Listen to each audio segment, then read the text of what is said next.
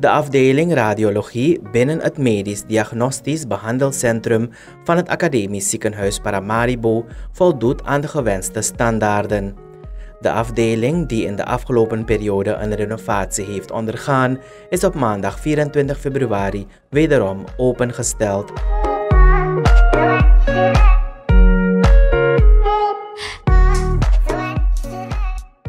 Directeur, wat is het uiteindelijke doel dat AZP wil bereiken met het opzetten van zo'n radiologie?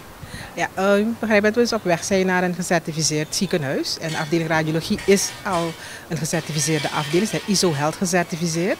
Ze zijn uh, momenteel uh, het referentiecentrum voor geheel Suriname. Dat betekent dat dus voor bijzondere gevallen op het gebied van diagnostiek iedereen verwezen wordt naar het academisch ziekenhuis. Ze zien ruim 100.000 um, gevallen die zich dus melden. En dat zegt wel heel veel over onze afdeling. Um, welke patiënten kunnen zich hier aanmelden op de afdeling radiologie? Um, de afdeling radiologie, uh, moet u begrijpen, het gaat om diagnostiek. Dus dat gaat met mensen dus met fracturen, die dus een foto moeten maken. Mensen die dus echo's moeten maken. Ook mensen die dus bijvoorbeeld biopten moeten afnemen. Ook, ook voor de vrouwen die dus een, een mammogram moeten maken. En uh, ook dat radiologische interventies uh, doen we dus ook. En uh, ik begrijp dat ook recent CT-scan valt onder de afdeling radiologie. Dus ook zij hebben het beheer over onze CT-scan. Is het de eerste een radiologie afdeling hier in AZP of is het, een, is het gerenoveerd? Um, het is gerenoveerd. Ik zei, het is een afdeling die veilig in de lift is. En uh, wat we bedoelen met in de lift is dat we dus uh, niet achter willen blijven op technologie. Waarom? Diagnostiek is heel erg belangrijk. Het bepalen van dus uh, ziektebeeld van de patiënt. En je moet er heel snel bij zijn. En niet gewoon snel bij zijn, maar je moet ook in staat zijn om adequaat, um, op adequate wijze ook nog diagnostiek te kunnen bieden. En dat kunnen wij doen. we hebben dus vier radiologen. We hebben dus een, een, een team van laboranten. En het allerbelangrijkste is dat we dus ook dus een high-tech medical equipment in huis hebben. Uh, met wat we vandaag gedaan hebben, met behulp van Staatsolie Foundation, is dus patiëntvriendelijke ruimte creëren. Het hebben van apparatuur, het hebben van je menskracht is niet alles. Je ziet het ook.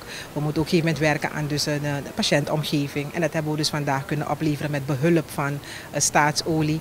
Een, een, een, modernere, grotere en uh, gekoelde patiëntvriendelijke wachtruimte. Uh, het allerbelangrijkste dus nu ook hier zit, zien we dus een kinderhoekje. Uh, dat zijn dingen die we dus missen in het ziekenhuis. Um, en dan zie je dus dat je op een gegeven moment met dus het realiseren van dit soort simpele handelingen, met behulp van natuurlijk bevriende donateurs, dat je toch wel weer een stap vooruit zet in betere zorg. Wat zijn de openingstijden van de radiologie?